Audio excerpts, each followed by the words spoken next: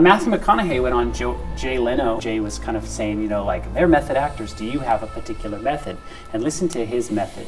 You have a process you do before scenes. And you've been doing this a long time. You know what I'm talking about? Yeah, I think so. Yeah, with the, with the, I think to relax. Yeah, explain what that is. It's uh, sort of a little meditational chant. Oh. Start to kind of- Hey, uh, I just get a little, I get a little rhythm going. Whatever it Celine is. Yeah, yeah. Whatever you got. Whatever, and it's a different rhythm Yeah. for every character and, and every role. So he does this meditation Yeah. and does this mantra, says the same thing over and over and over.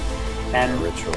yeah, and remember when we had um, Leah on, what did she say? Got her into meditation. Like literally, or, or got her into that space of, of being able to communicate with the spirits was literally meditation. Yeah, meditation. Right?